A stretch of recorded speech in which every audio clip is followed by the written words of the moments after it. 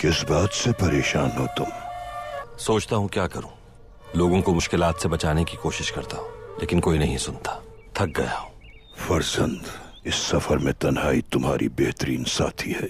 लोगों से कोई उम्मीद न रखो तुम। माँ बीवी भाई और तुम्हारे साथी कोई नहीं समझ पाएगा। तुम्हारे अंदर क्या है वो नहीं देख सकते।